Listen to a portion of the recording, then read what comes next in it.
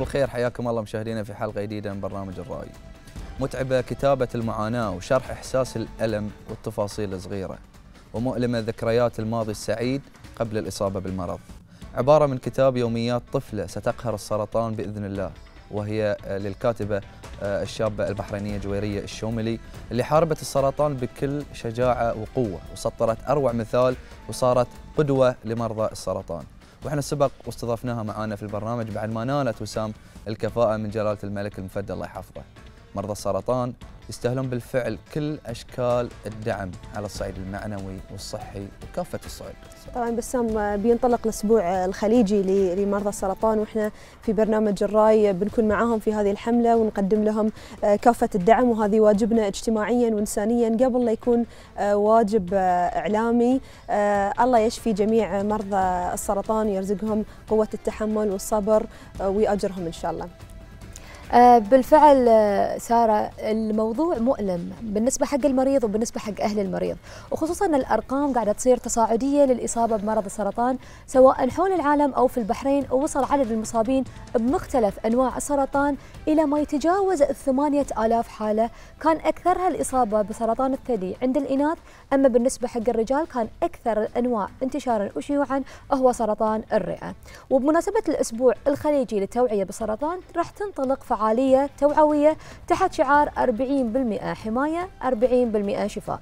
اللي تنظمها جمعية البحرين لمكافحة السرطان وبالتعاون مع وزارة الأشغال والتخطيط العمراني واللي راح تنطلق مع مجموعة من الفعاليات التوعوية في قرية أرجان بكرة الخميس وراح يخصص ريع هذه الفعالية لصالح مرضى السرطان إن شاء الله. وتعتبر هذه المشاركات نوع من الشراكة المجتمعية والتعاضد المجتمعي. وإحنا من خلال برنامج الرأي نوجه دعوة لكل مواطن ومقيم على هذه الأرض إنه يروحون هذه الفعالية يحضرونها. وبعد نوجه الدعوة لأشقائنا الخليجيين اللي يشاركونا الويكند إنه يحضرون هذه الفعاليات آه اللي راح تدعم مرضى السرطان آه إن شاء الله الله يشافيهم ويعافيهم ويبعد عنا وعنكم كل سوء. خلينا نشوف معاكم هذا التقرير ونرجع.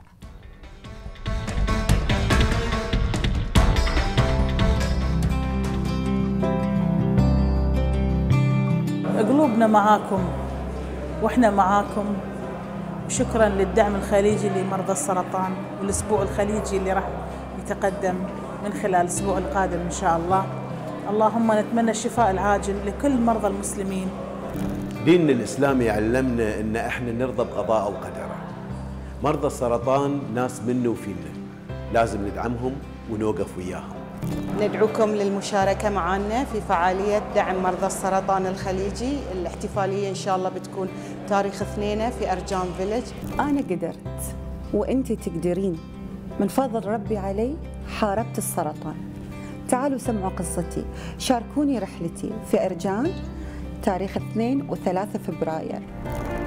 خليك قوي لا تكون ضعيف. تقدر تواجه المرض.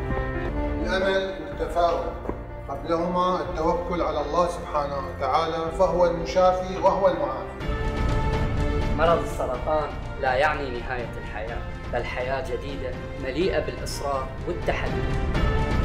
لا يأس مع الحياة ولا حياة مع اليأس. إيجابية ونفسيا جيدة نصف العلاج. بابتسامتي أحارب مرضي مرض السرطان لا يعني الموت. 40% من أمراض السرطان ممكن الوقاية منها و40% ممكن الشفاء منها. إن الله إذا حب عبدا ابتلى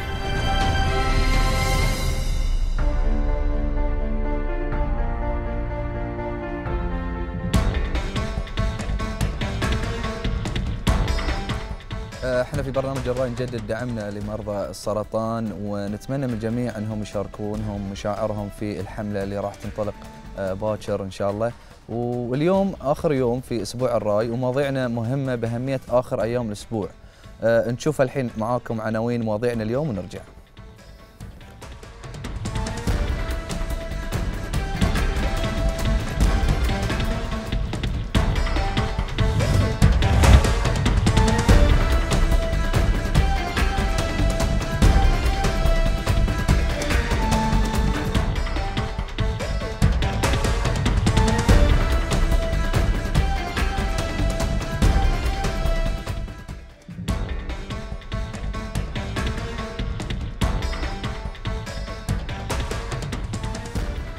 نتكلم وايد بكل فخر عن وضع المرأة وتمكين المرأة والمناصب والمواقع اللي تقلدتها المرأة في البحرين. وأيضا بكل فخر آه، يعني نتكلم عن ما تحقق المرأة في كافة المجالات. لكن مع الأسف لليوم ما في قانون متكامل وتفصيلي يتعلق بالأحوال الشخصية ويجمع كل الأحكام المتعلقة بالميراث الوصية والنفقة والحضانة وغيرها من هالقضايا التفصيلية والدقيقة. بالرغم من صدور الشق السني من قانون أحكام الأسرة في سنة 2009 لا زالت في آلاف القضايا المرتبطة بشؤون المرأة من طلاق وحضانة وغيرها لحين ما انحلت بشكل كامل لأن كل الجهود والتحركات ما قدرت أنها تصدر قانون الأسرة بشكله الكامل كقانون موحد للمذهبين لأن الشق الثاني من القانون المتعلق بالشق الجعفري لم يصدر بعد. بالرغم من التصريحات والاخبار اللي تقول إن المسودة النهائية لإعداد آه، التقارير جاهزة وتم صياغتها لكن ليش ما تم إصدارها لحد الحين ومتى راح يصدر وكم حالة متضررة اليوم بسبب غياب الشق الثاني من قانون أحكام الاسره. الحين مع خلينا نشوف معاكم آه، إحصائيات الطلاق والزواج في البحرين مع سارة ونرجع لكم. شكرا بسام.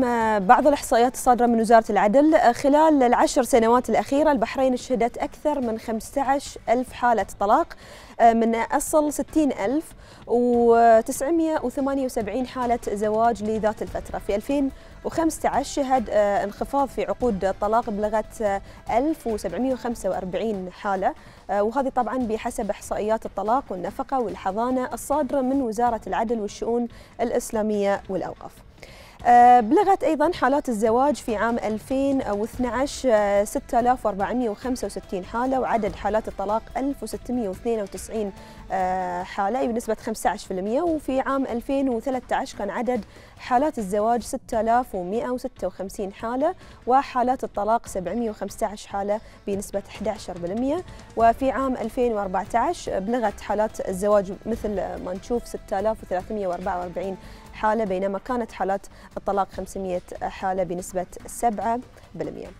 الإحصائية التالية أظهرت أن المحاكم الشرعية كانت تصدر عقود طلاق للبحرينيين تتراوح بين 110 إلى 161 عقد شهري يعني بمعدل خمس حالات طلاق في اليوم. أما عقود الزواج تراوحت بين 622 إلى 201 عقد شهريا بما يعادل من 6 إلى 20 حالة زواج آه، يوميا. أما عدد قضايا الخلع للبحرينيين 251 حالة في 2015 تم خلع 30 بحريني من زوجاتهم غير البحرينيات وتم خلع 31 حالة غير بحريني من زوجاتهم البحرينيات. ووصل عدد قضايا الخلع للأجانب إلى 15 حالة وأغلبها تقع في السنة الأولى من الزواج.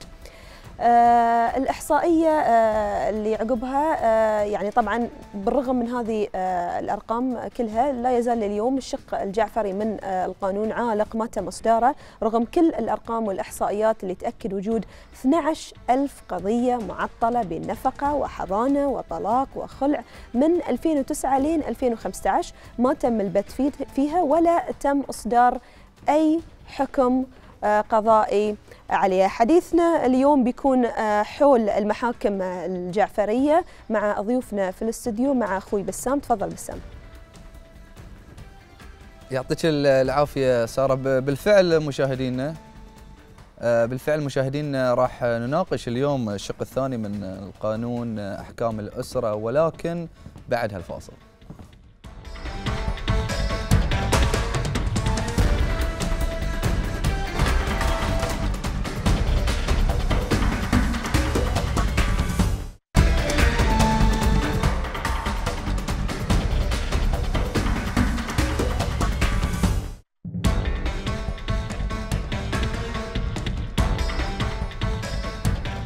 رجعنا من عقب الفاصل نذكركم موضوعنا آه، آه، لهذه الفقرة وهو يتعلق بالشق الثاني من قانون أحكام الأسرة والمشاكل والقضايا العالقة في المحاكم.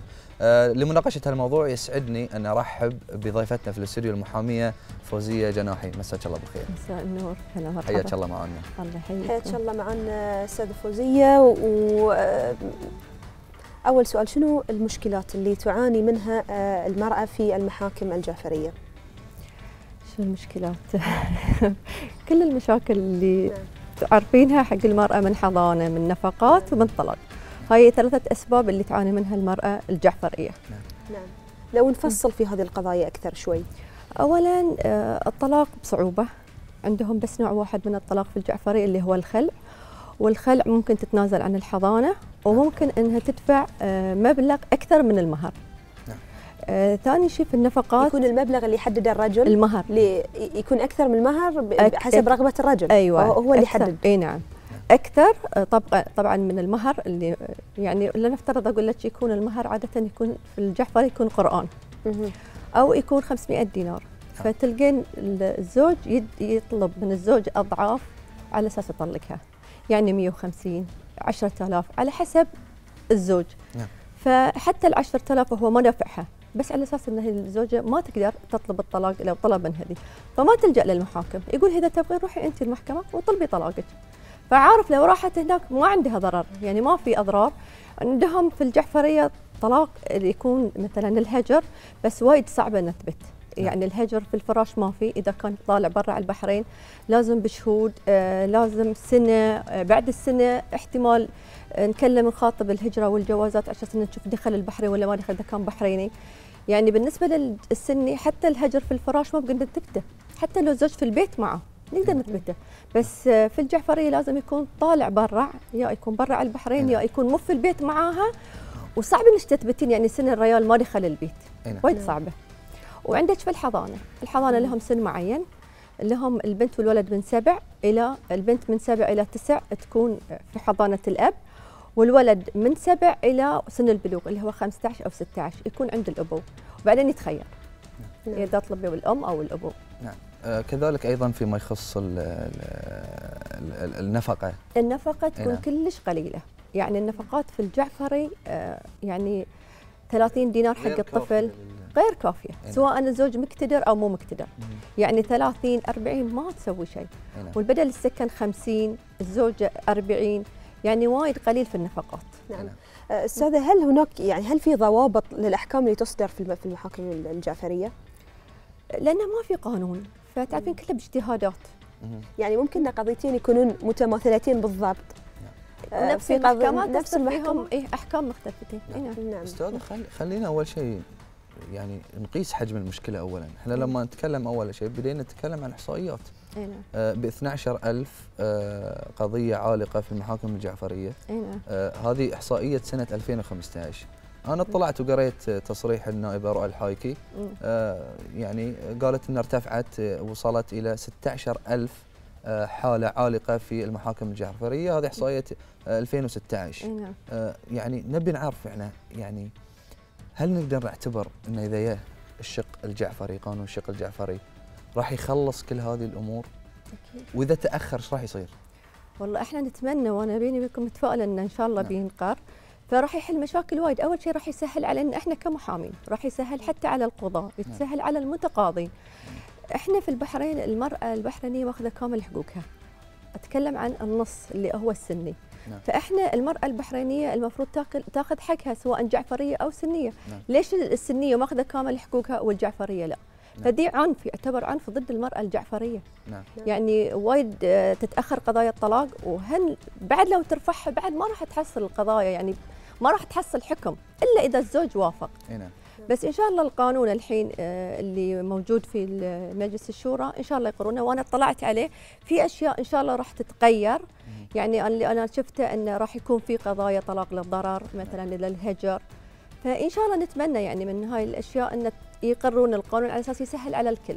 إيه. وحتى المرأة البحرينية النص الثاني تحصل حقوقها شنو السبب أستاذ في, في تأخر آه، في في مسودة في قانون في في 2009 ظهر القانون للشقين لكن تم اقراره للشق السني السني فقط شنو أسباب تأخر صدور آه، قانون آه، أو الشق الثاني من قانون أحكام الأسرة وللأسف بداية كانت المرأة الجعفرية هي اللي كانت معارضة فهي اللي طلعت اعتصامات معارضة إنه يصدر القانون نعم. الشق الثاني نعم. فبعد مع الأيام الحين يعني ما في توافق نعم. يعني مو قادرة أقول لك من اللي مو براضي نعم. بداية كانت المرأة هي الحين بعد تعرفين يعني في رجال الدين أو يعني نقدر نعتبر الإحصائية هذه 16000 أو 12000 آه، يعني من المعارضين حاليا أو من آه، المطالبين للشق الثاني من القانون؟ والله هم ما أقدر أقول لك كلهم بس في بعضهم آه، يعني كلموني وقالوا إحنا بنبي نطالب. نعم. وفي بعضهم قالوا ما نقدر يعني تشوف روحها أن هي معنفة وتشوف روحها أن ما تقدر تحصل طلاقها. بس لما نقول لها يعني أنت بإمكانك تتكلمين أو دي قالت لا ما أقدر أتكلم لأن إحنا عندنا ضغوطات وما نقدر نتكلم ما نقدر نقول إحنا نبغي القانون. يعني الأغلبية إنهم ما يقدرون.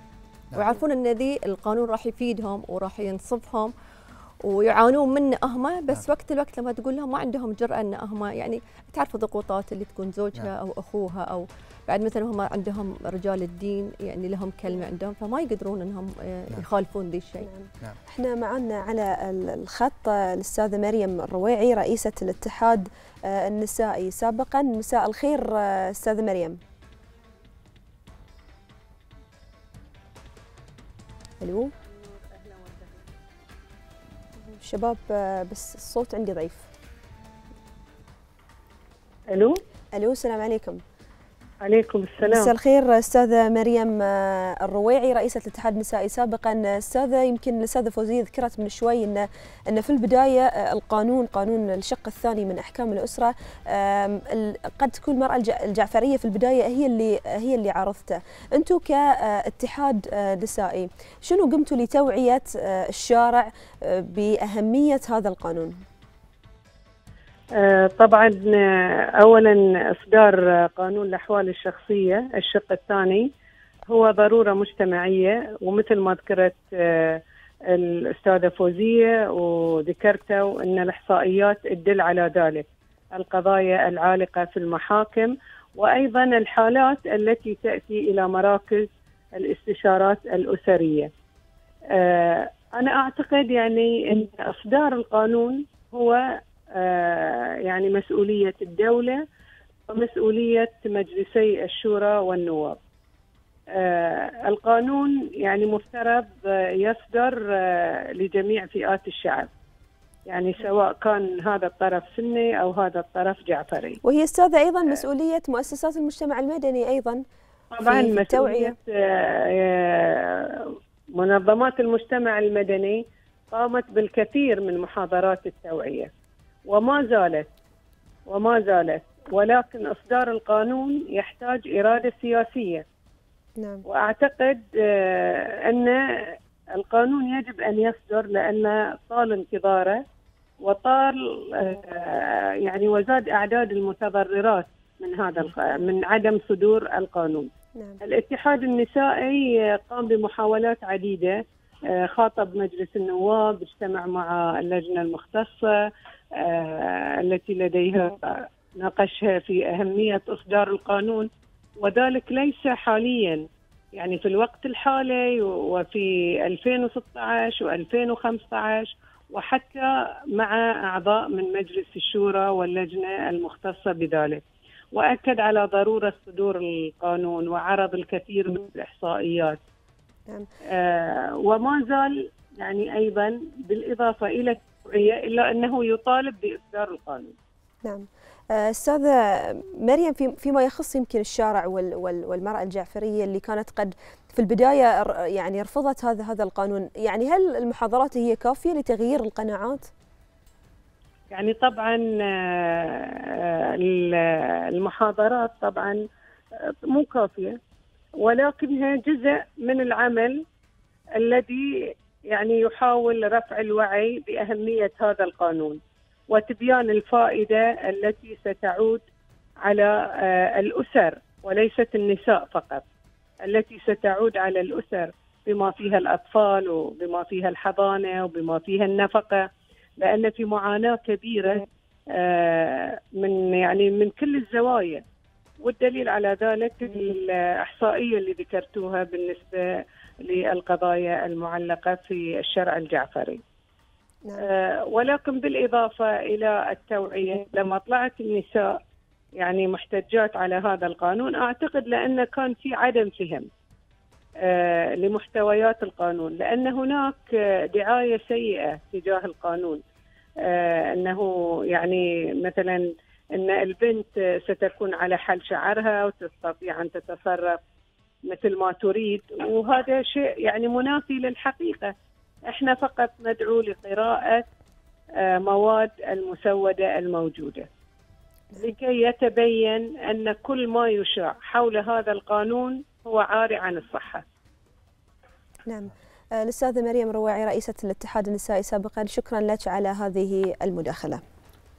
أستاذة نرجع لك مرة ثانية. يعني آه، دور المؤسسات الأهلية هل هل ترين أنت بأنه كافي؟ هل أنتم ك يعني كمحامين يعني تحتاجون إلى يعني تهيئة آه، الأجواء آه، قبل أن تكون هناك خطوات فعلية فيما يخص إصدار القانون؟ والله بالنسبة للجمعيات النسائية والمجتمعات ال- المؤسسات المجتمع المدني صراحة هم اللي ساهموا حتى في الشق السني. نعم. يعني صراحة دي يشكرون عليه. يعني كلنا عرفنا انه يعني كان الضغط منهم هم.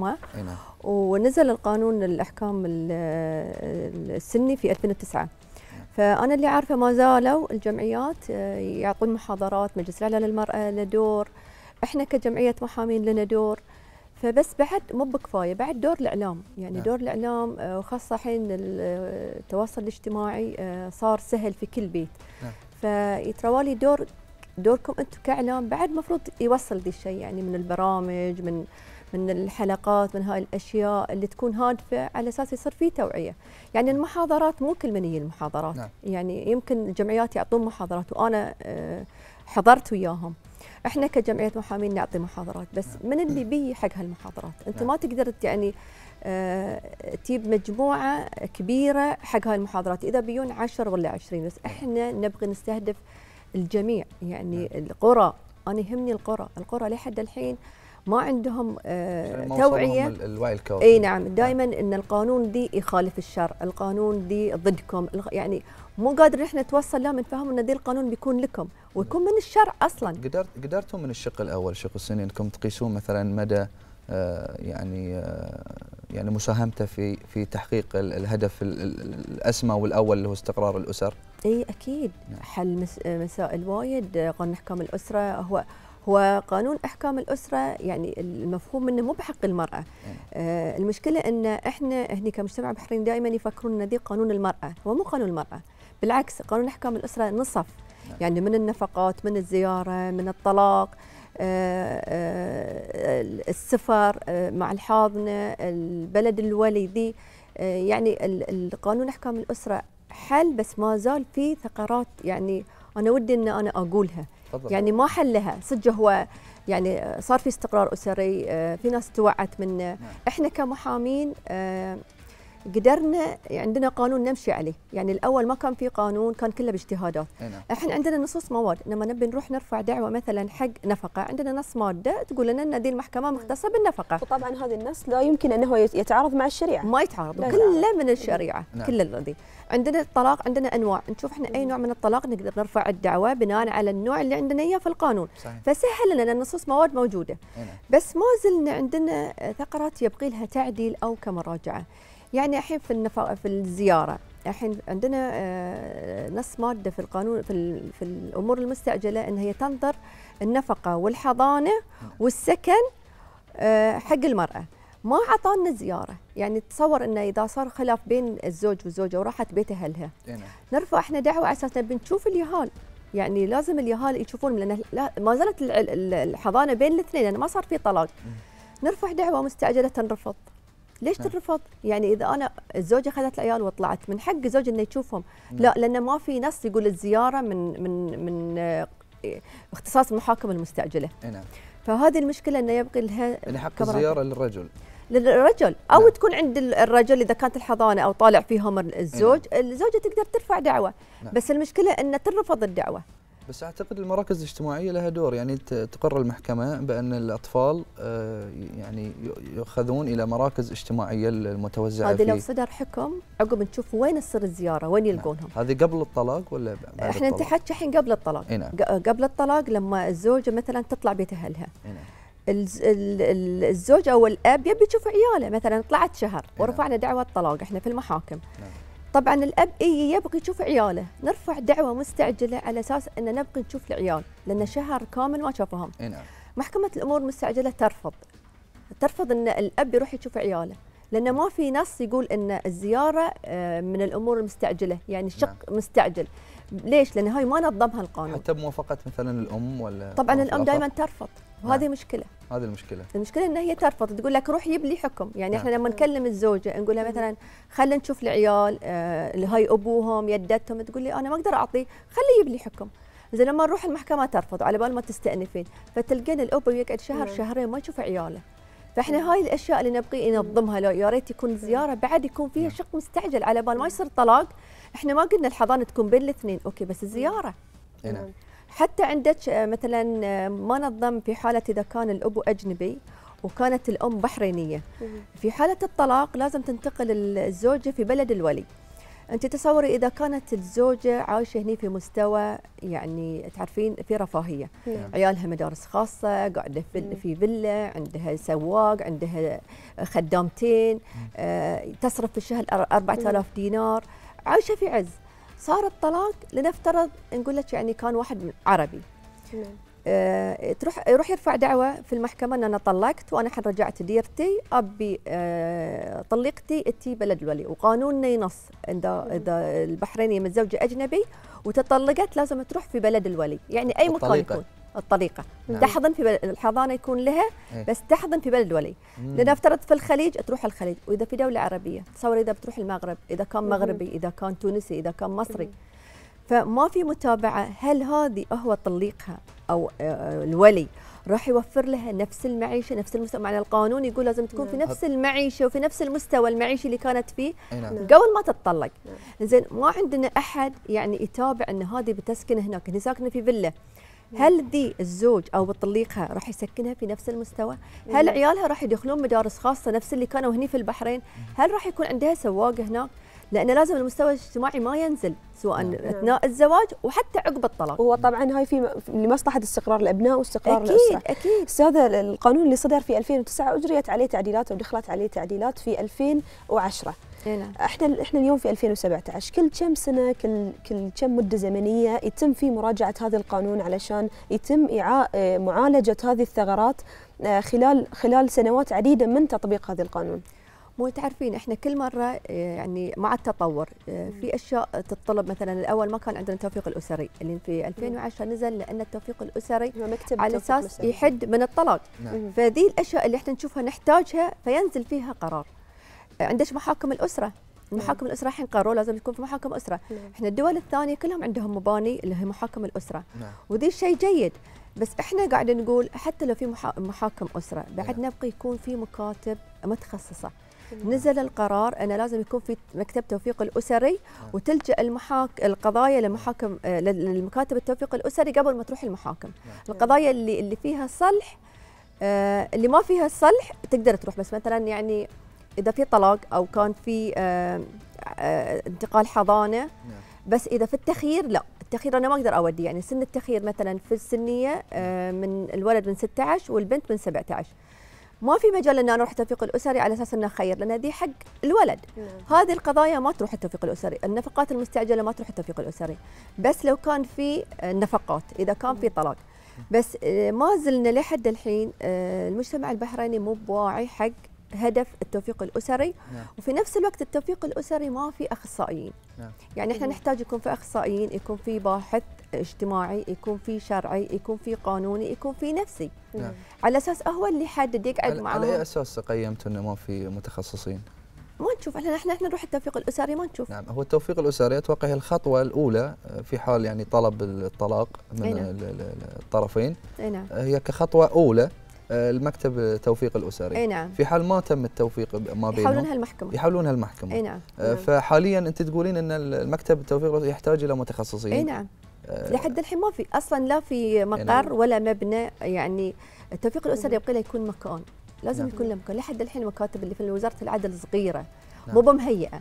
في نفس الوقت ما في أخصائيين. يعني ساعات مثلا يجيك آه، الأب عنده حالة نفسية. نعم. ممكن إنه آه، يمنع العيال إذا كان في الجعفر يخذ العيال ما يعطي الأم. فهاي الأشياء من اللي راح يحددها؟ النفسي لازم يكون في نفسي نعم. موجود. نعم. ذي الأب يعاني من شنو؟ ليش حارم الأم من العيال؟ أو العكس. بعد عندنا الأمهات إذا صار عندهم العيال بعد ما يعطون الأبهات. وايد عندنا ذي المشكلة سواء في الجعفري أو في السني. نعم. الجعفري يكون الأب. دائما مهم. تكون فترة الحضانة اللي هي اللي هي من سبع إلى 16 حق الولد يكون عند الأب الأم تعاني. نعم. في السنية تكون عند الأم الأب يعاني. نعم. فإحنا لازم نعرف دي ليش الأم مثلا تمنع تمنع العيال من الأب. ومن يصير أي خلاف بينهم يمنعونهم. نقطة الضعف العيال. فيعني أنت خذيتي طلاقك okay. أه بتاخذين الحضانة okay. الحضانة مو بملك لك. الحضانة هي لازم تكون حقك بس الرؤية حق الولد الولاية حق الأب. نعم. نعم. فحتى في التوفيق الأسري المفروض يكون في أخصائيين يفهمونهم دي الشيء. يعني أنت بتطلقين لازم يكون عندك الحضانة لكن الاب لازم يشوف العيال.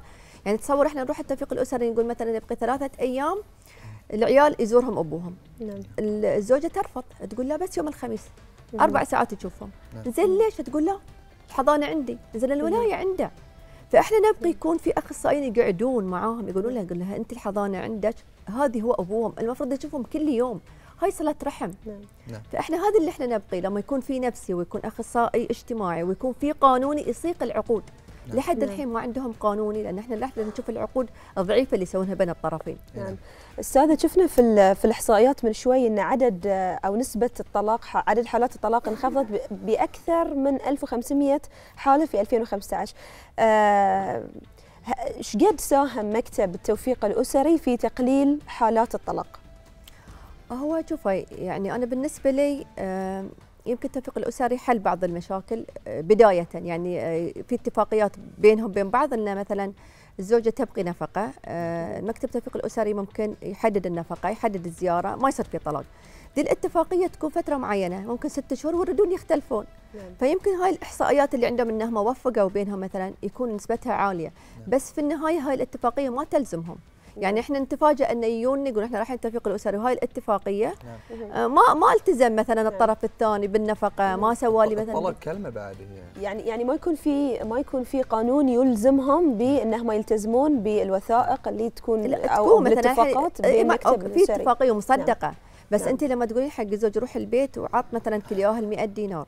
وفر لهم آه، مثلا آه، سكن سكن ملائم آه، خلهم يروحون المدرسة آه، يبون مثلا الأشياء اللي يحتاجونها يعني اللي اللي هي الزوجة رافعة دعوة تبغيها. نعم. الأشياء الضرورية مثلا انفق في البيت. مم. يقول لك أنا بنفق بس لا تحطين علي مبلغ. نعم. أنا بنفق أنا خلت ترجع البيت أنا بعطيها. زين إحنا ما حاطين المبلغ اللي لازم يسلمها اياه نعم. فتروح البيت نفس الطريقة ما يعطيها. وخاصة إذا كانت الزوجة تشتغل نعم. يكون اعتماد الزوج على الزوجة. لأنه عارف إن هي بتروح تصرف يعني عندنا وايد قضايا إن الزوج يعتمد على الزوجة مو الكل بعض. نعم. بعض يعتمد على الزوجة ان هي تصرف وحاطين البنود إنزين ترد تقول له أنت الحين ما حطيت لي مبلغ تعطيني إياه. خلينا نتفق عطني المبلغ يقول لها لا فما وصلوا لحل. أو مثلا آه، تكون مثلا تطلع من البيت أو إنه ما تسمع كلامه أو من ما تقوم بواجباتها. فيقول لها قومي بواجبات تسوي. بعد نفس الطريقة الزوجة ما تلتزم. بعد يجي الزوج يقول أنا خلاص بطلق لأنها ما قاعد تلتزم. الشديد آه، استاذه اللي, اللي يدفع ثمن هذه العناد. العيال هم هم هم الأطفال وال- والقانون والقوانين هذه كلها هي في النهاية تصب في مصلحة الأسرة وهي لا لا تصب لمصلحة المرأة ولا مصلحة آه، الرجل، إحنا عندنا تقرير آه، لامرأة عانت في المحاكم ونرجع مرة ثانية مع ضيفتنا آه، الأستاذة المحامية فوزية جناحي.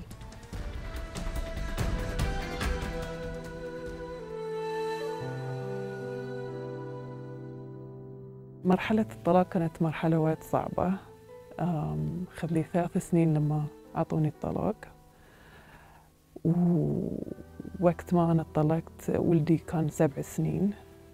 فحسب الشرع طليقي خذ الولد مني. والمحاكم الجعفرية أم، قانونهم اللي يقول إن أشوف الولد في الأسبوع 24 ساعة وبس. فأنا مو فاهمة شلون يعني كأم أنا بس أشوف ولدي مرة في الأسبوع وعمره سبع سنين ويحتاج اهتمام الأم. مرحلة صعبة لأن ستة أيام في الأسبوع الولد يتصل فيني يبي يشوفني يبي يطلع وياي أم ويصيح آه ويقول لي تعالي خذيني. طبعا ما أقدر أروح أخذه. واللي النقطة اللي ما أفهمها إن شلون المرأة البحرينية السنية لها امتيازات أكثر من المرأة البحرينية اللي تزوجت بحسب القانون الجعفري. وشلون إن هي لها امتيازات إن هي تقدر ترعى أطفالها. بس المرأة اللي تزوجت تحت حسب القانون الجعفري ما تقدر ما تقدر تشوف عيالها إلا مرة في الأسبوع. ويعني هاي أبسط حق لأم لأي أم أصلا أن هي ترعى عيالها. ويعني ناطرة ناطرة تشوف إذا ممكن إذا في يوم من الأيام المحاكم بتغير هالشيء وتطبق قانون موحد حق الكل.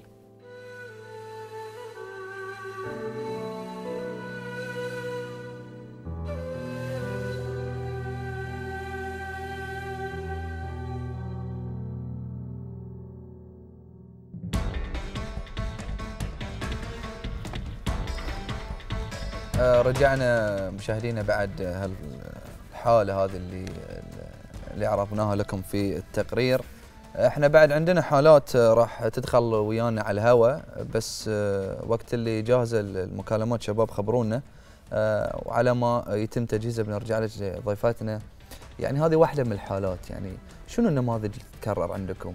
وشلون تقدرون تدافعون عنهم في في يعني حتى لو مع مع في ظل غياب الشق الثاني شلون تقدرون تدافعون عنهم؟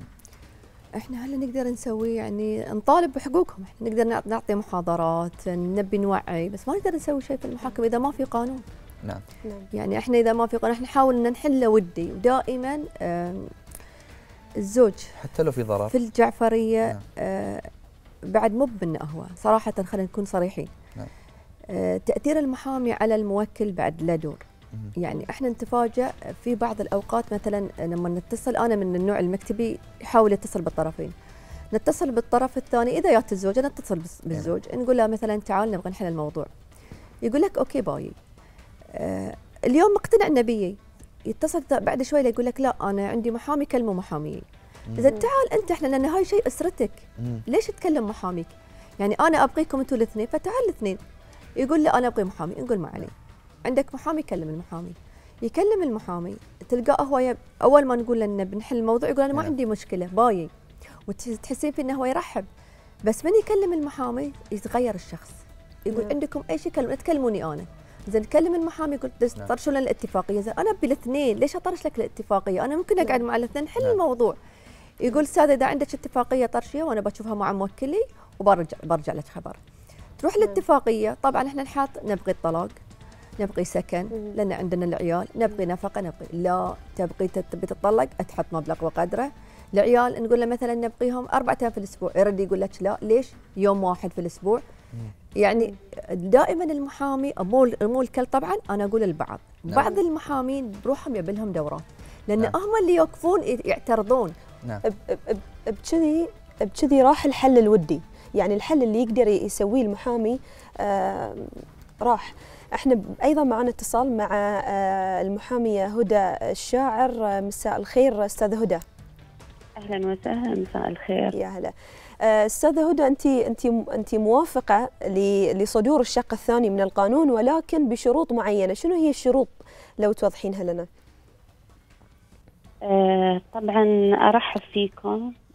استاذتي أه بالنسبة إلى الموضوع موضوع الشق الجعفري طبعا بالنسبة نحن يعني بالنسبة لنا إحنا نحن نوافق على التقنين طبعا لأحكام الأسرة لكن طبعا هناك ضمانات مطروحة.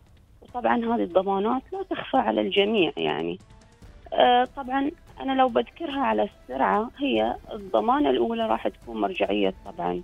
مرجعية الشريعة الإسلامية هذا أول ضمانة.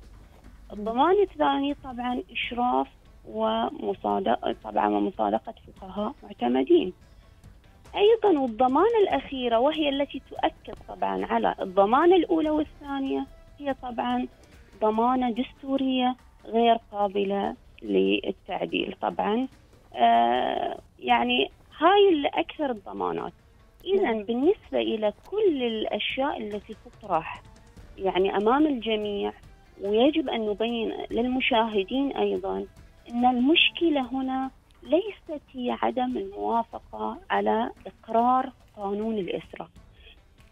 هي العقبة الوحيدة هي الضمانات المطروحة ومثل ما عرفنا في الآونة الأخيرة كانت هناك ولا يخفى على الجميع هناك مواضيع كثيرة بهذا الخصوص بل أن العلماء بأجمعها طبعا رحبت رحبت بهذا طبعا بتقنين أحكام الأسرة أو ظهور الشق طبعا أحكام الأسرة للشق الجعفري ولم ترفضه بتاتا وإنما كانت هناك طبعا مثل ما مثل ما طبعا ذكرت آه، لكم إنه لابد أن تكون هناك آه، يعني هذه الموافقة هي مشروطة في ظل ضمانات آه، هذا استاذه هدى هدى آه، قانون أحكام الأسرة وكما حصل في الشق السني آه، من الأكيد أي قانون قد تكون فيه ثغرات آه، لها قد يكون لها سلبيات لكن الإيجابيات أكيد تكون كثيرة. هل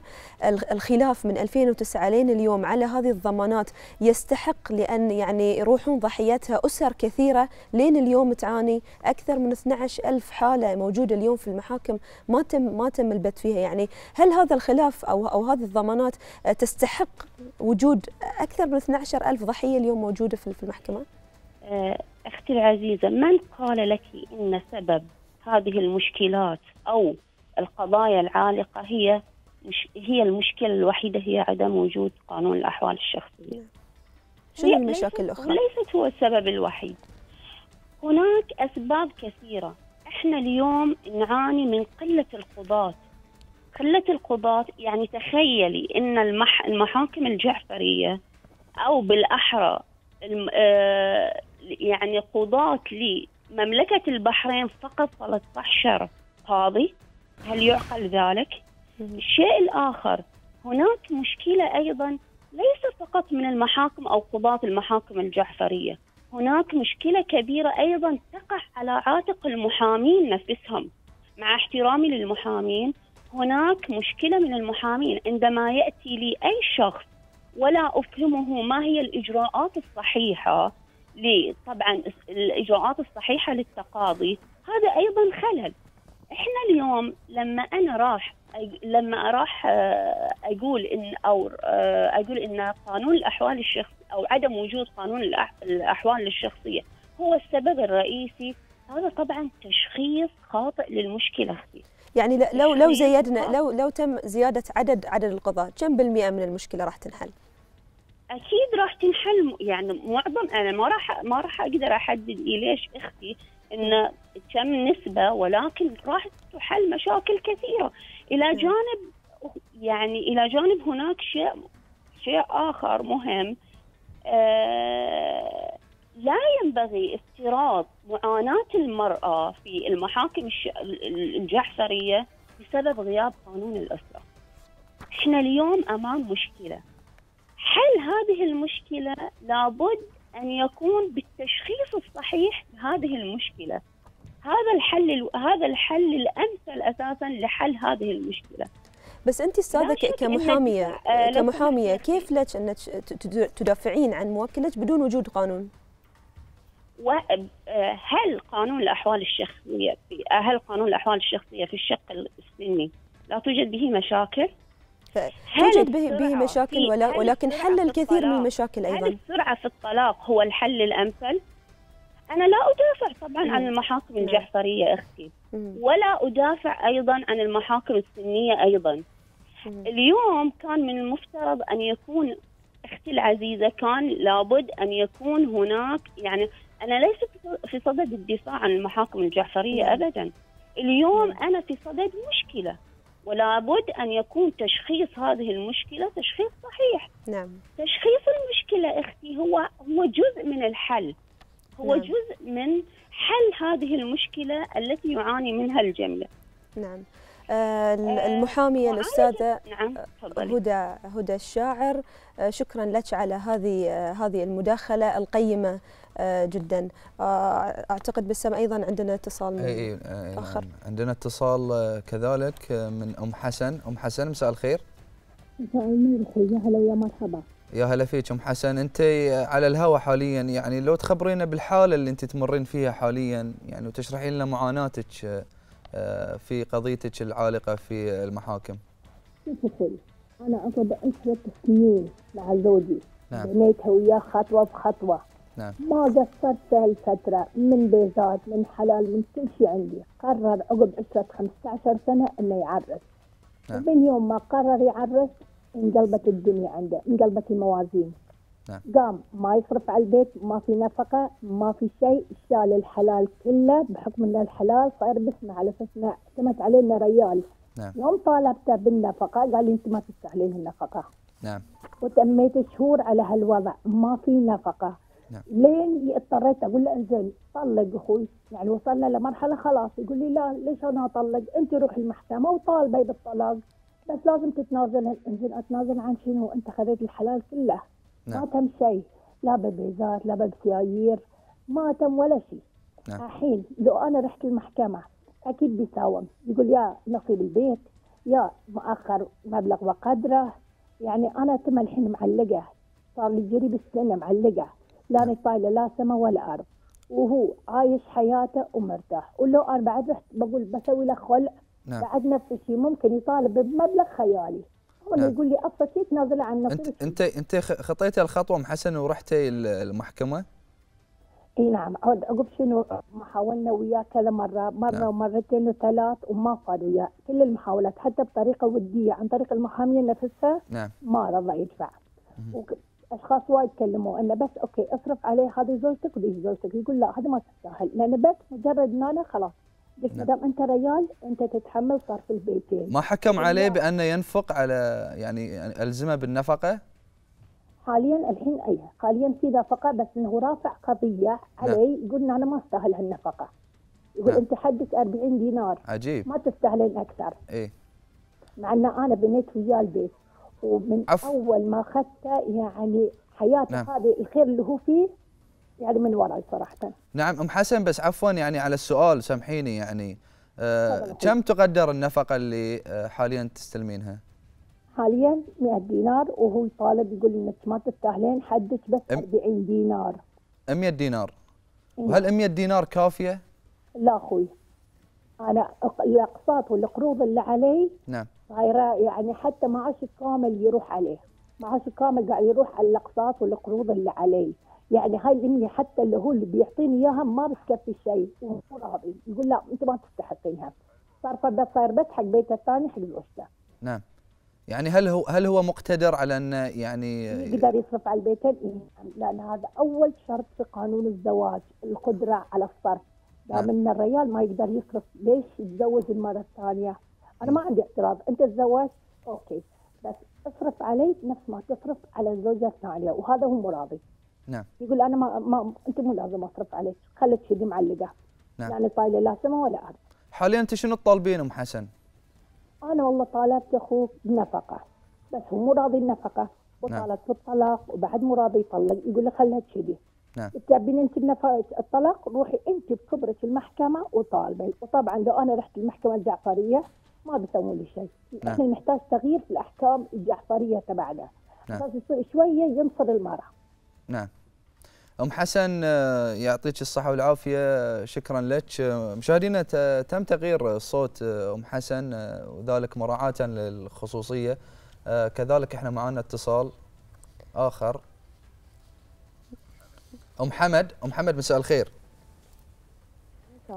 مساء الخير أم حمد. هلا مرحبا أخوي يعطيك العافية. الله يعافيك. تفضل ام حمد أنت على الهواء. آه شكرا أخوي. بخصوص موضوعي أنا أنا طبعا متزوجة الحين صار لي تقريبا آه آه 13 سنة. آه عندي آه أربع عيال. نعم. زوجي يعني صارت بيني وبينه مشاكل فترة وتزوج علي. نعم. زين عقب ما تزوج مرة واحدة وقف علي آه مصروف البيت. نعم. وقف علي النفقة وقف علي مصروف اليهال أنا الحين أطفالي قاعدة أنا أصرف عليهم. و... وقام يعني وقف مصروف البيت كامل ما يحط ولا شيء لا حق اليهال ولا حقي. زين وأنا من معاشي طبعا ما يتم لي ولا شيء. الحين أنا قاعدة أصرف عليهم كل شيء وأصرف على روحي و... و... ولين أطلع آه صارت مرة مشكلة بيني وبينه طردني من البيت جاب زوجته البيت وطردني أنا من البيت أنا وعيالي. نعم. رحت اشتكيت عليه في المحكمة. طبعا المحكمة الجعفرية طلبت منهم إنه هو نعم. ينفق علي يعطيني نفقة نعم. حقي وحق اليهال. نعم. زين. وإنه أرجع البيت. المحكمة ردتني البيت وطلبت منه إنه يعطيني نفقة 60 دينار شهريا. نعم. ورفضت إنه يصرف على اليهال بحكم إن اليهال في حضانته. شلون اليهال في حضانته وأنا معاه في البيت؟ هذا شيء. نعم. زين. الشيء الثاني 60 دينار شنو قاعد تسوي اليوم؟ 60 دينار هذه هل بتكفيني مصاريف البيت ولا الكهرباء ولا البترول ولا اليهال ولا مصروفي أنا؟ يعني هذا المبلغ حدد يعني ال- ال- المصروف آه، لك وللعيال. الشهري نعم. لدرجة إنه قاعد يطنز على المبلغ المبلغ جدا بسيط. نعم. وقاعد يقول لي مصروفك يعني أكلك ومشروبك من هذه 60 دينار. إنزين. هذه 60 دينار اليوم شنو قاعدة تسوي؟ مو قاعدة تسوي لي شيء لا طبعا ما تسوي. هذه كلها قاعد يفتعل مشى هو عايش حياته لآخر درجة هو ريال مقتدر فوق ال- اللي تتصوره عنده يعني ما شاء الله آه، فلوس بالهبل نعم. وعنده سيارات فخمة واكون فاتح له بيت ثاني يع- يعني من رأيك محمد ليش ليش المحكمة يعني آه، ألزمت بهذه المق... يعني المقدار البسيط من النفقة؟ أنا ما ادري ليش يعني مع ان أنا قدمت كل الأشياء اللي عندي. نعم. قدمتها حق المحكمة. وقلت حق المحكمة أنا أنا ما عندي اعتراض على زوجته. تزوج علي أنا ما عندي اعتراض. ولكن خليه يعدل. المحكمة يعني الشرع يقول اعدل بين الاثنين. و- وبعد هو قاعد يحصل آه، غلال معيشة. غلال معيشة مو المفروض إنه يعطي زوج زوجته بعد يعني مالي حق؟ نعم. ما مو قاعد احصل منه ولا شيء. والحين شنو شنو مطالباتك أم محمد؟ أنا مطالباتي انه هو آه، يعطيني آه، نفقة محترمة. اي نعم. تكفيني أنا وعيالي كلنا. زين نعم. وأبي شو اسمه؟ أبي حقوقي لأن أنا مو قاعدة نعم. أعيش حريتي. قاعد حاط لي مراقبة علي. يتجسس على مكالماتي وعلى تلفوناتي وقاعد يراويني ويثبت لي. نعم. زين ما عندي حرية لا في بيتي لا ولا برا بيتي حتى اليهال. مو مو. أم حمد. أنا عايشة في بيت لكن كني عايشة في مقبرة ما عندي حرية. أتمنى إن أنا أعيش يعني حالي حال الناس. دائما عايشة أم قلق. مقدرين إحنا مقدرين هذا ال- ال- الوضع اللي أنت فيه يعني وللأمانة إحنا نتعاطف معك كذلك. آه، ويعني يبدو لي إن أيضا آه، لا تحل هذه المسألة إلا بوجود قانون. ينظم هذه العملية. أنا اتمنى أخوي أتمنى نعم. القانون ينصفني وينصف كل مرأة مظلومة تحت عنف زوجها. أكيد الزوج الظالم. يعني ما علي إحنا راضين قدرنا أن تتزوج لكن أنصف. نعم. أتمنى المحكمة الجعفرية تنصف المرأة لأن المرأة ما عندها سند إلا أنتوا نعم. كم كم أعمار كم أعمار عيالك؟ بس سؤال أخير آه، ام محمد كم أعمار عيالك؟ عيالي آه، ثمان وتسع وعشر وأحد عشر. 8 9 10 11 أي متقاربة. آه، أم محمد شكرا لك شكرا لك. شكرا لك. يعطيك الصحة يعني والعافية. أستاذة فوزية الحالات اللي سمعناها هل معقولة أم بأطفالها النفقة 40 60 100 دينار و- و- وأطفال بأعمار 8 9 10 سنوات؟ هذه معناتها هم في المدارس. إيه لا. لو سمعتي قالت لك أنا رفعت دعوة نفقة لي وحق العيال. أعطوني أنا العيال ما أعطوهم. عشان كذي قاعدة أقول لك كم أعمارهم. آه، هي الأخت في المحاكم الجعفرية. المحاكم الجعفرية عندهم سن السبع إلى تسع حق البنت تنتقل الحضانه حق الأب. نعم. الولد من سبع إلى 16 عند الأب. هي قالت أربعة أولاد. أربعة أولاد. من السبع معناته في حضانة الأب. المشكلة أن هم مو متطلقين. قالت أنا زوجته وموجودة هو طردي من البيت ويا بزوجته الثانية. ورحت رفعت دعوة. قامت المحكمة أعطتها الستين ورفضت تعطيه الباقي. ليش؟ لأن قالت العيال ذلين في حضانة الأب. نعم. زين العلاقة الزوجية قائمة. المفروض تكون حضانة مشتركة. فهي شلون تثبت إن الأبو ما قاعد يصرف؟ دي المشكلة اللي هني. يعني بس المحكمة من تلقاء نفسها قالت السن دي عند الأب. نعم. زين أوكي هل المحكمة تيقنت إنه هو قاعد يصرف ولا لا؟ هي ما ألجأت للمحاكم إلا أكيد الأب ما قاعد يصرف. فحتى المبلغ ال 60 دينار وهو فاتح بيت ثاني قليلة. يعني شلون مثل ما قالت انه هو مقتدر وعنده يمكن سيارات إيه؟ فارهة وعايش مقتدر وعايش ولا حياته. ويحطون زوجة ثانية. المفروض إن حتى الزوجة الثانية لازم يكون في ضوابط. يعني أنت بتفتح بيت المفروض بعد تشوف ذي زوجتك وتشوف عيالك. لازم تكون مقتدر. يعني أنا أفتح بيت وأترك ذلين وأكيد هي قالت لك أنا أشتغل وأنا أصرف وأنا اللي أدفع. إنزين لأن هو اعتمد عليها إن هي تشتغل. فلازم اللي تشتغل لازم هي تصرف عليه وعلى عيالها. زين الحين تقول لك حتى لو تبي تطلق بعد بياخذ هو العيال. نفس الطريقة ما لها سكن لأن الحضانة عند العيال راح تطلع في الجعفرية راح تطلع بدون أي شيء. أستاذة يمكن الأستاذة هدى الشاعر آه، قالت إن إن المشكلة الآن في وجود آه، 12000 حالة في في ال- في المحاكم الجعفرية هي مو سببها عدم وجود قا- قانون في سببها إن هناك آه، قلة في عدد القضاة هناك سبب آخر اللي هو تعاطي آه، تعاطي بعض المحامين مع مع القضايا هذه. آه، هل هذا صحيح؟ لا هو فعلا شوفوا يعني إذا تبغي تقيسين على العدد آه، التأخير في الجعفري أو في السني. هم نفس المحاكم. ترى عندنا دائرتين آه، كبرى في الجعفري وفي السني واحدة استئناف اللي في الجعفري يمشون بسرعة آه، اللي في السني يمشون بسرعة. القضايا تمشي بسرعة بس في الجعفري تتأخر يعني من الجلسه للجلسه شهر شهر ونص. دي التأخير هو اللي يسبب الضغط دي. في السنية لا 20 يوم بالكثير أسبوعين يمشون.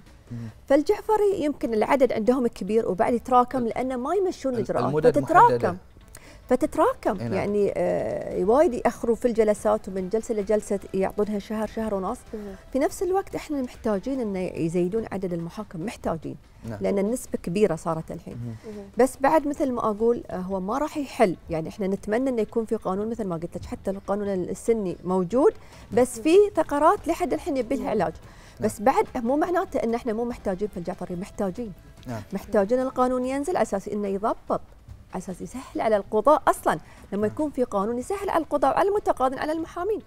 و- وبعد قالت السبب فعلا أنا معاها قالت لك بعد التأخير يكون من المحامين. في بعض المحامين مو مقتدرين آه مو لامين في القضايا الشرعية فهو عنده موكل مثلا في القضايا المدنية ما يبغى يخسره فأي له يقول أنا عندي قضية شرعية يأخذها. ما يعرف الإجراءات يأخذها فممكن حتى من المحامي يخسر. نعم. يخسر موكله. فهذه فعلا إحنا اللي قاعد نشوفه ومثل ما قلت هم بعد في محامين لو إحنا كنا نبي نصلح في محامين يوقفون حتى في المحكمة. نعم. يعني إحنا نبغى نتفق يقول لك لا. نعم. وهو يعترض. بس تبقى تبقى طبعا يبقى السبب الأول هو عدم وجود أكيد القانون. السبب هذه ت- الأول. نعم. أكيد راح يحل راح لا يحل. لأن في القانون ال- الفني هل محدد أيضا مدد ال- ال- المرافعات وال. لا لا. نعم. مو مدد يعني عندنا الاستئنافات إي بس لو نعم. ترفع القضية لا لأن المحاكم السنية قاعدة تمشي بسرعة لأن الجلسات متقاربه نعم الجعفر يصير في تأخير والكم أكثر نعم لأن التراكمات فيها نعم. يكون في أبطأ تكون في الموضوع. الموضوع متشعب ويحتاج يعني لوقت طويل للنقاش آه، لربما أيضا نخصص حلقات أخرى للنقاش في هذا الموضوع الهام وال ونتمنى وكلنا متفائلون وأنت متفائله أيضا قلت بالبداية أستاذ أنك متفائلة في البداية 2017 انه إن نعم. شاء الله راح. يقرر القانون نعم. الجعفري آه، المحامية فوزية جناحي شكرا لك. شكرا على حضورك شكرا آه، مشاهدينا نأخذ معاكم فاصل ونرجع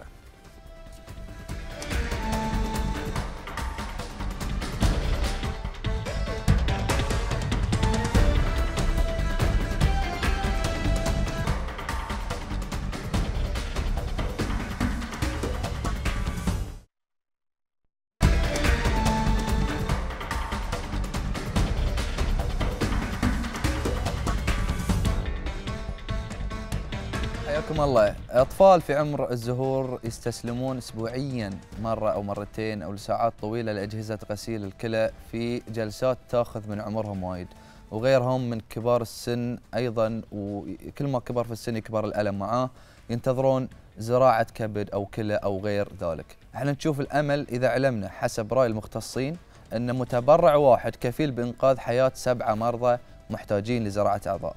والأمل يزيد مع وجود بيئة تشريعية قانونية تواكب الحاجة.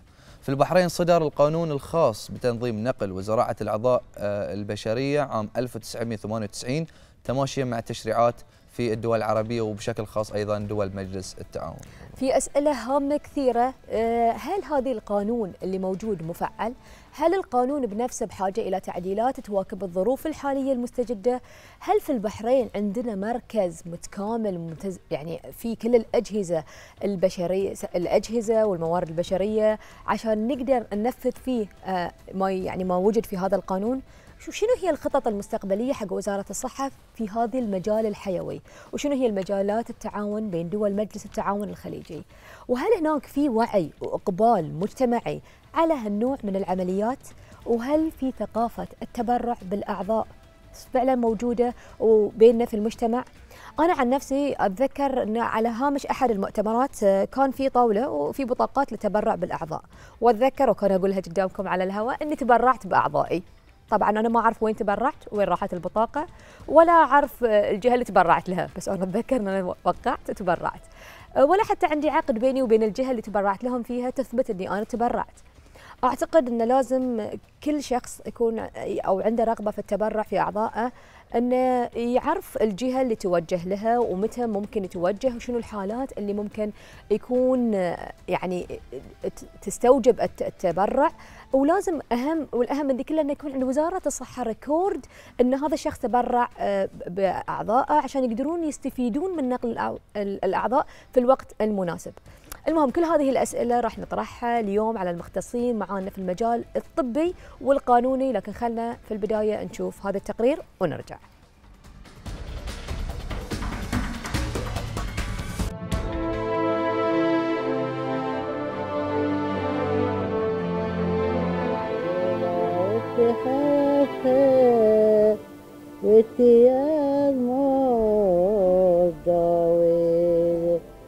سارة هي واحدة من اللي يترددون كل يوم وترك على مجمع السلمانية الطبي لغسيل الكلى بعد أن ابتلاها رب العباد بمرض في الكلية.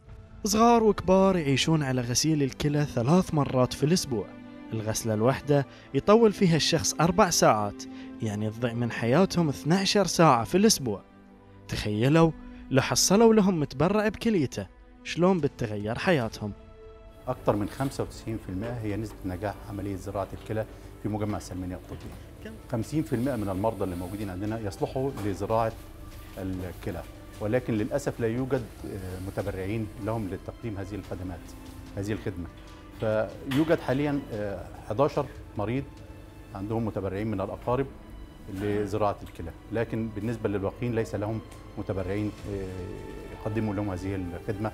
أو التبرع بال- بالعضو آه، طبعا المريض بعد زراعة الكلى بي- بيقضي فترة آه، قصيرة يحتاج إلى رعاية طبية لصيقة ثم بعد ذلك بيستعيد آه، طبيعة حياته الطبيعية.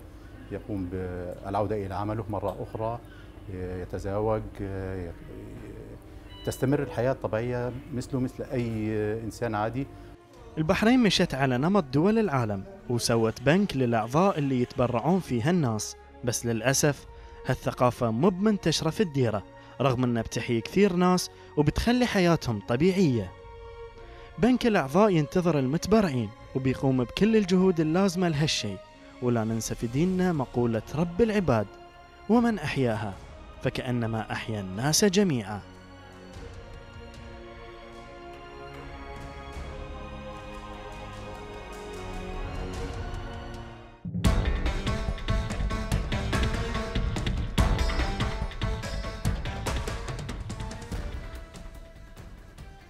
كل هذه الأسئلة اللي مساعة وجهتها لكم راح نطرحها اليوم على المختصين معانا في المجال الطبي والقانوني معانا في الاستديو في فقرتنا الأسبوعية مثل ما عودناكم الدكتورة وفاء جناحي الأستاذ أستاذ القانون المساعد بجامعة البحرين وضيفنا في المجال الطبي هو الدكتور علي العرادي رئيس قسم أمراض الكلى في وحدة المؤيد لمرضى الكلى. مساكم الله بالخير. مساكم الله بالخير. حياكم الله وسهلاً. معنا آه، دكتورة وفاء يعني في البداية يعني سؤال يتراود عند الجميع يعني هل نقل الأعضاء مشروع دينيا؟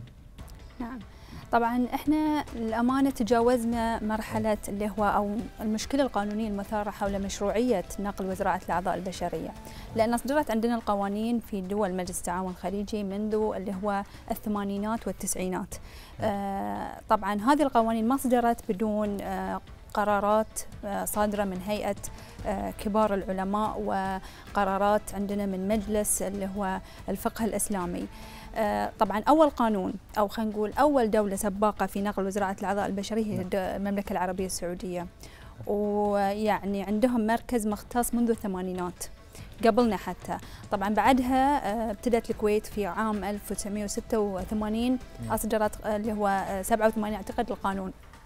بعدها اللي هو آه، دولة آه، عندنا آه، الإمارات نعم. من ثم عمان صدر قرار وزاري وبعدها قطر وآخر شيء سنة 1998 صدر قانون اللي هو نقل وزراعة الأعضاء في مملكة البحرين نعم طبعا هذه القوانين أجازت بناء على اللي هو آراء الفقهاء الشرعيين أجازت نقل وزراعة الأعضاء من جسد شخص إما كان حي أو متوفي على حسب العضو اللي بينقل نعم. إلى شخص مريض بحاجة إلى نقل و آه، نقل عضو له وزراعته في جسده طبعا في معايير وضوابط جاء بها القانون من أجل أن إحنا آه، تحفظ الكرامة الإنسانية للمتبرع وأيضا للمريض.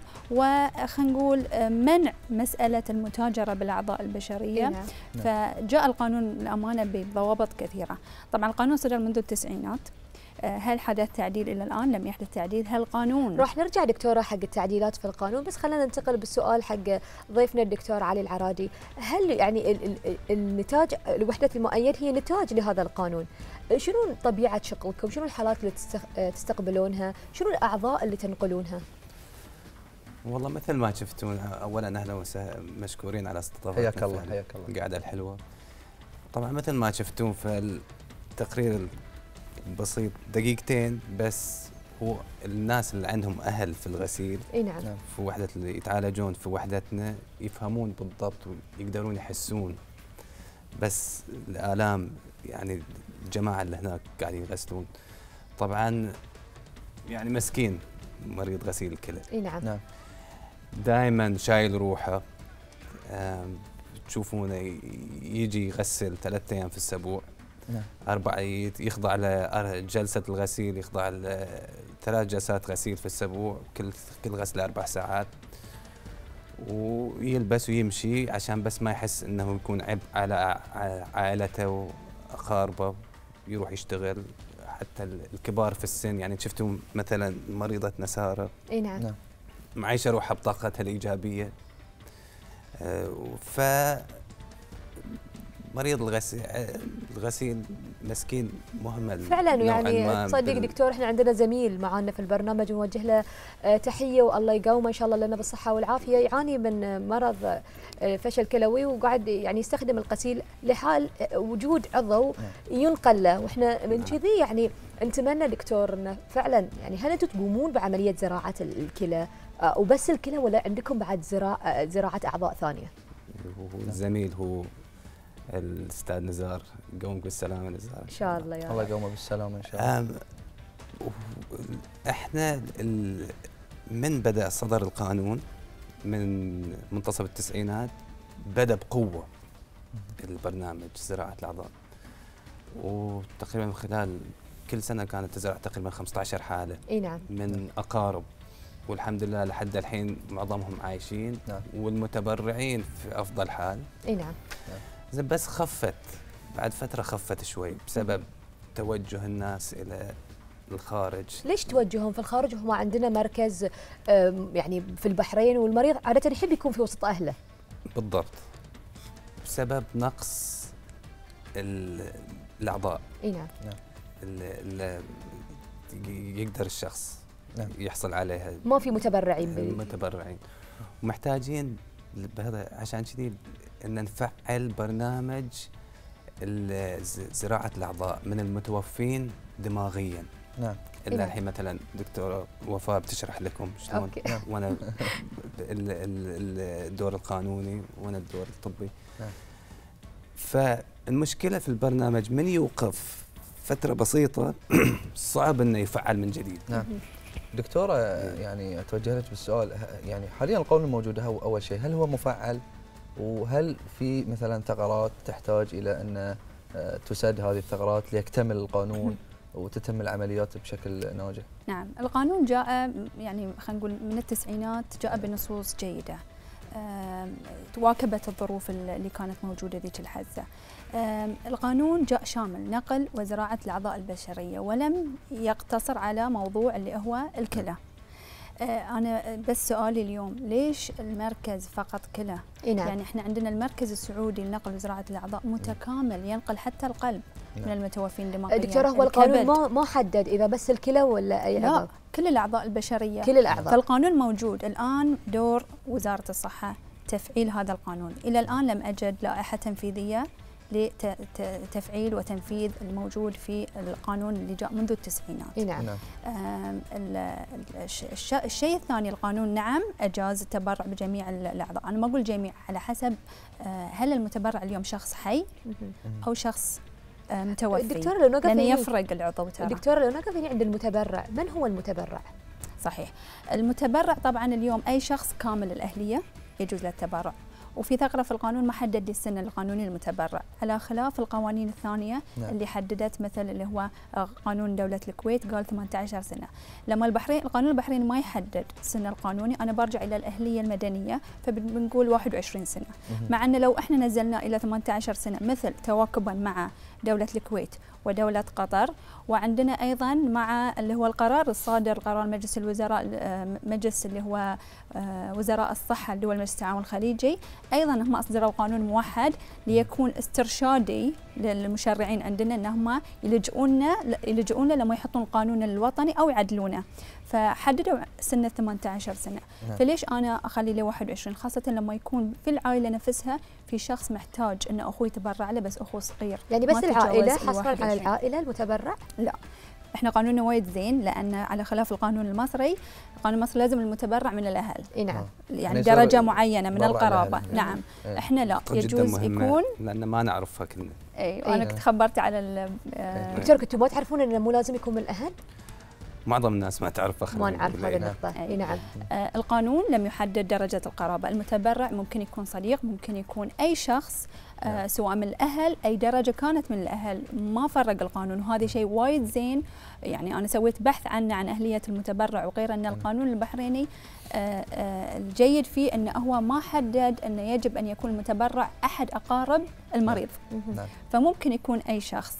آه، طبعا لما أنا ما أحدد إنه يكون أي شخص بعدين بتكلم أعتقد بهذه النقطة إنه ممكن إن أنا عشان أشجع المتبرعين اليوم يتبرعون نعم. وأشجع الأهالي اللي عندهم مرضى متوفين دماغيا انهم يعني يدرون إن ال- الشخص ميت ميت نعم. فأشجعهم إن هم يتبرعون بالأعضاء البشرية واقول لهم إن القانون لم يستلزم وجود القرابة فممكن هذا الشخص ينقذ آلاف المرضى آه، الموجودين أنا خاصة بوقف. عند نقطة ميت سريريا بس عشان نوضح حق المشاهدين شنو ميت سريريا؟ يعني هل اللي في غيبوبة يعتبر ميت سريريا دكتور؟ أو من هو الميت سريريا؟ وشلون يقدر يخدم بالتبرع بأعضائه؟ يعني هل إحنا راح نقتله قتل رحيم ولا إيش راح نسوي؟ لا لا.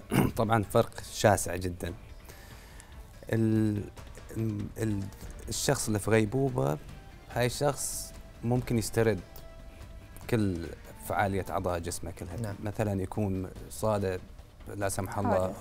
هبوط في الضغط نعم. وكل شيء يحتاج إلى تنفس صناعي وفترة استرد قوته بعدين يرجع أعضاء الجسم مرة ثانية استردت قوته بالعلاج طبعا ممكن يرجع نعم. ولكن الميت دماغيا هو الشخص اللي فقد وظائف المخ تماما. اي نعم. نعم.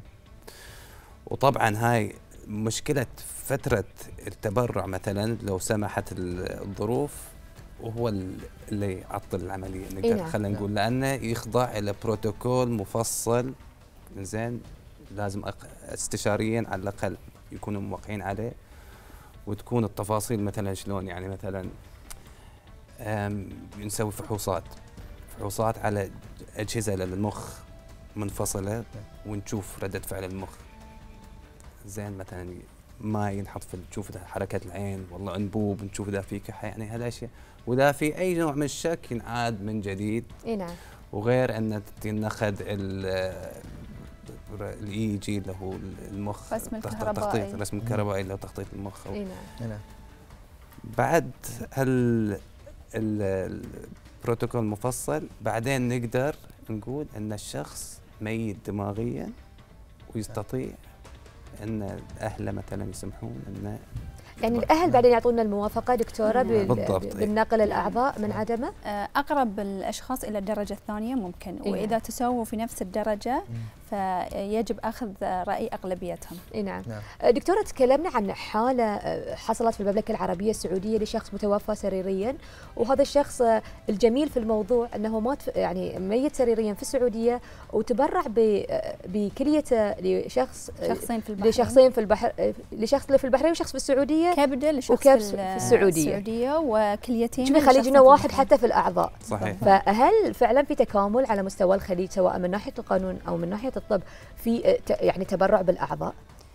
آه، ناخذها أول شيء من شق قانوني دكتورة؟ آه، طبعا إحنا مثل ما قلت لك في قرار صدر قرار مجلس الوزراء لدول مجلس التعاون الخليجي في 2006 وهذا القرار جعل المركز السعودي لنقل وزراعة الأعضاء هو المرجع لجميع المراكز الموجودة في دول الخليج جميل. العربي أي واحد مثلا حتى الدكتور يقول إن تعامل المركز السعودي اليوم لنقل زراعة الاعضاء تعامل جدا راقي في مسألة اللي هو الاستجابة لمواضيع اللي هو نقل الأعضاء. على طول يستجيبون ويعني ممكن يوفرون أعضاء للها يعني دكتور في أعضاء نقلت من السعودية للبحرين غير هذه الحالة؟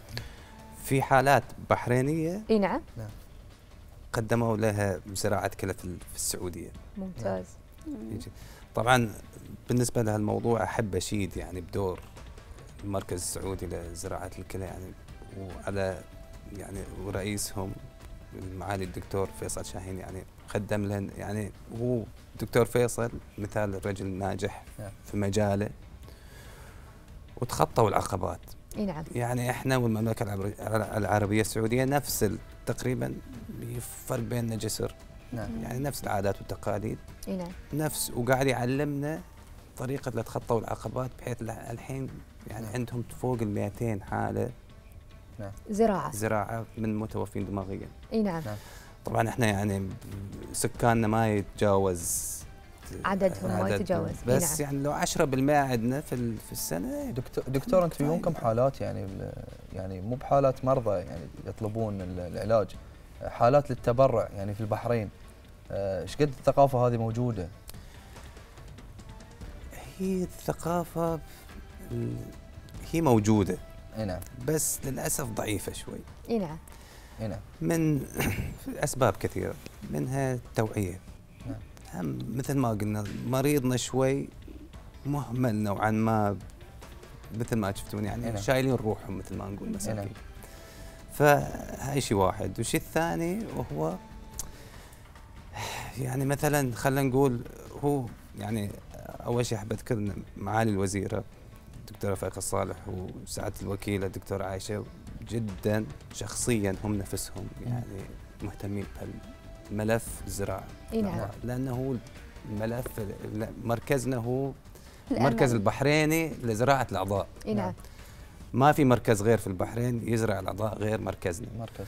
وطبعا صديقي الدكتور وليد المانح والوكيل المساعد والدكتور جاسم المساعد رئيس نعم. الأطباء هم منسقين في الأرض حاليا عشان نبدأ من جديد البرنامج. نعم. ونقوم أهم شيء نواجه التحديات من الحين عشان ذا بدأ. ما يوقف. أتوقع أن أول العقبات هي وضع لائحة قانونية. بالضبط. عشان و- تعرفون وشلون ونضبط لوائح القانونية دكتور وفاء محتاجين إيش يعني؟ زين. هاي هاي المهم جدا. وأيضا يعني مشكلة نفس ما قلنا قسم مركز البحرين لزراعة الأعضاء محتاج أيضا مثل ما يقول امتيازات. نعم. اطبائنا في القسم يعني مثل ما قلنا عندنا فوق ال 400 مريض يخضع نعم. لعملية الغسيل. إي نعم. عبء ليش على ليش تحتاجون الامتيازات هذه؟ يعني مثلا تفرغ كامل. نعم. زين يعني مثلا الشخص أنت مثل ما شفت يعني 400 مريض كلى يبي لهم رعاية. إي نعم. يبي لهم رعاية 24 ساعة. مشكلة مرضانا إن إحنا مقصرين وياهم ما نقدر عددكم غير كافي؟ عددنا نعم. غير كافي. أطبائنا منهكين شوي. إي نعم. بهالسبب. زين فإذا صار كذي بصير صعوبة إن الناس تدش هالمجال. إي نعم. نحصل كوادر بالضبط. توجيه التعليم اليوم توجيه. مهم. آه، في مجال حساس مثل في هذا هذا الجانب. اي نعم. ومحتاجين ممرضات متخصصين بس في ليه؟ مسألة ال... يعني مو يراكبون في العيادات مثلا وفي الأجنحة ويسوونها كشيء ثانوي بعد نفس الشيء. هالأشياء قاعدة تدرس من قبل الوزارة. وإن شاء الله يعني دكتور انت كنت. في الكويت من فترة لحضور المؤتمر الثالث لزراعة ونقل الأعضاء، لو تكلمنا عن أهم التوصيات على مستوى خليجي آه، اللي طلعت فيها هذه المؤتمر.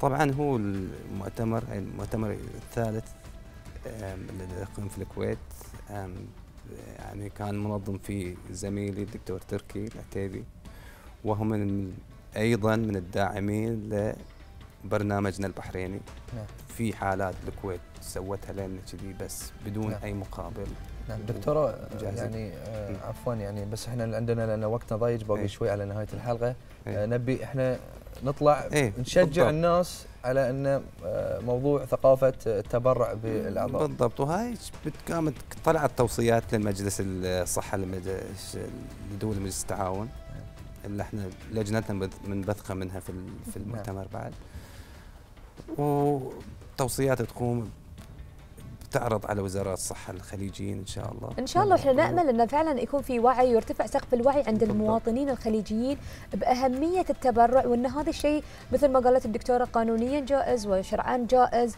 آه، دكتورة ننتقل حق أهم التوصيات اللي طلعتي فيها من دراستك القانونية اللي هي كانت عن أهلية المتبرع وحقه في الحصول على مكافأة في مجال نقل وزراعة الأعضاء. نعم. هذه دراسة مقارنة اللي سويتيها آه، على مجال دول مجلس التعاون. هل تحسين أن هناك في وعي فعلا من قبل المواطنين بالتبرع؟ آه. وشون نقدر نحثهم على التبرع؟ صحيح. طبعا أنا أول شيء أوصي يعني بتوحيد قوانين دول مجلس التعاون في مسألة اللي هو نقل وزراعة الأعضاء على أساس تكون الأمور أكثر مرونة وسهولة في التعامل مع المراكز نفسها بينها وبين بعض. اثنين آه، القانون يحتاج إلى تعريفات اليوم. آه، في المملكة في آه، دولة الإمارات العربية المتحدة صدر قانون في عام 93 وصدرت اللائحة التنفيذية في 2010 يعني حتى لو كان أقفل المشرع أو أقفلت الوزارة بإصدار لائحة يعني أن يصدر خيرا من أن لا يصدر. فإحنا بعد نقول حق يعني وزارة الصحة يجب أن تكون هناك لائحة تنفيذية تعرف الوفاة لأن ما في تعريف للوفاء في اللي هو القانون. فبالتالي نبي نرسم حدوده على أساس يطمئن الطبيب في عمله أيضا. نعم. آه، عندنا آه، اعتماد سن قانوني معين لأهلية المتبرع. وهناك حالات ممكن السماح فيها للقاصر إنه هو يتبرع بالخلايا الجذعية دام ما فيها ضرر على صحته. وهذه شيء المكافأة موجود في دولة قطر. لو نوقف عند الكلمة كلمة المكافأة اللي يعني فعلا لفتت نظري في الدراسة. مم. يعني هل هل التحفيز عن طريق المكافأة لا سيما نحن مجتمعات إسلامية يعني الهبة والعطاء ذي جزء أصيل من من ديانتنا من ثقافتنا صحيح طبعا القانون منع اللي هو المتاجرة بالأعضاء نعم. البشرية والبيع والشراء لكن أنا قصدي بالمكافأة أن اليوم لما المتبرع عشان أشجع المتبرعين أنهم يتبرعون لابد أن أعطيه مزايا نعم. شنو هذه المزايا؟ المكافأة هي عبارة عن تأمين مدى الحياة على صحته إيه يستاهل طبعا التأمين مو من قبل المريض لأن لو أنا المريض تعامل مع المتبرع أنا كأني قاعد أقول أنه في معاملة مدنية نعم. فأنا أبعد المريض لأن ساعات المريض ما يعرف منو المتبرع إيه نعم. شو يصير آه آه، عجبني نص في القانون القطري اللي تم تعديله في 2015 يعني القانون في دولة قطر صدر في عام اللي هو سب 97 آه، قبلنا. بسنة وتبدل الحين في 2015 يوب نص حلو وقال أن المجلس الأعلى للصحة ممكن يعطي ميدالية إيثار نعم. للمتبرع أو لأهله في حال كان هو ميت يعني يحتفظون فيها آه، اثنين يعطي مزايا اللي هي تأمينية وعلاجية للمتبرع. وممكن يغطي مسألة أيضا اللي هو مسألة الدفان وغيره ومصاريف التعزية وكلها هاي كلها أشياء تشجيعية فعلا. تخلي الشخص ممكن ما اليوم ما تدخل كأنها مقابل يعني؟ لا أبد لا ما تدخل مقابل لأن نعم. هي مو شوف القانون قال إذا كان الشخص قال أنا بتبرع إذا أعطيتوني نعم. لما يقول الشخص أنا بتبرع أعطيتوني ولا ما أعطيتوني. فمعناته هني صار التبرع بدون مقابل. مكافأة يعني. نعم. مكافاه تعديل الوضع أكيد. إحنا يعني والله ودنا نسولف وايد في الموضوع ويعني يحتاج إلى بس وقت بس سام أنا عندي سؤال صدق ابي أبي الناس تستفيد منه. هو نعم. شلون إذا في شخص الحين عنده صار عنده الرغبة عقب كلامنا اللي إحنا قلناه وصارت عنده الرغبة بأنه هو يتبرع. شنو هي الآلية يعني؟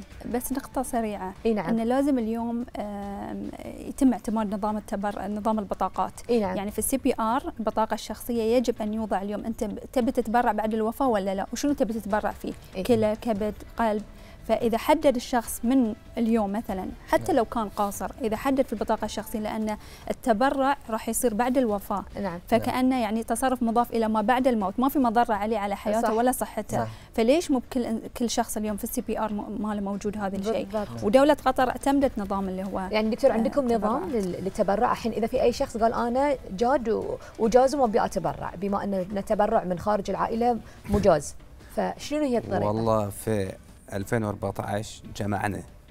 ليكون هي أكيد وانت أعتقد ورقتي وياهم في الكرتون. ويانا في القسم عندنا في القسم.